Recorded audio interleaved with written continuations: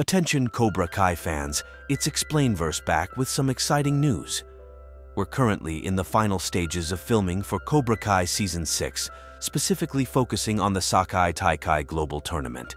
Recently, our friends at Cab Castings have put out another casting call, this time looking for background extras to fill the tournament audience.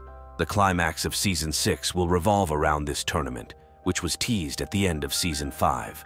It's interesting to note that there have been multiple casting calls for this event, with the latest one scheduled for mid-April. Some may wonder why there's a longer gap between filming the Sekai Taikai compared to the All Valley tournament in Season 4. Well, there are a couple of reasons that I've discovered.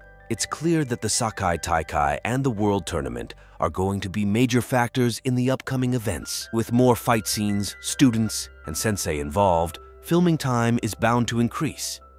However, the filming of the 2024 Karate Kid movie, starring Ralph Macchio, seems to be the biggest priority.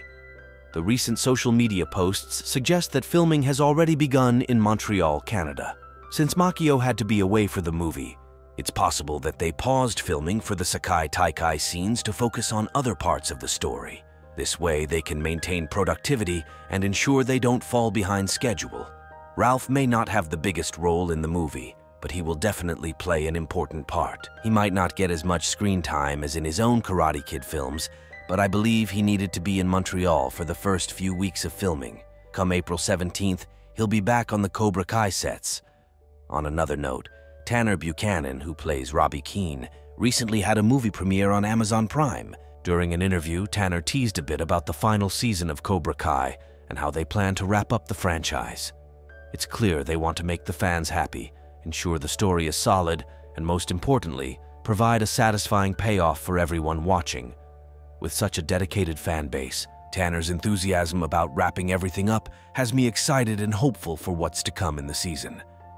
That's a wrap for this brief update video on some fascinating updates about Cobra Kai Season 6 and the upcoming Karate Kid movie. Share your thoughts in the comments section below. I always enjoy reading your comments. Hey everyone, I really hope you enjoyed watching this video. If you did, don't forget to give it thumbs up and share it with your friends. And if you are new to our channel, make sure to hit that like button and turn on the notification bell so you never miss out on any of our future videos.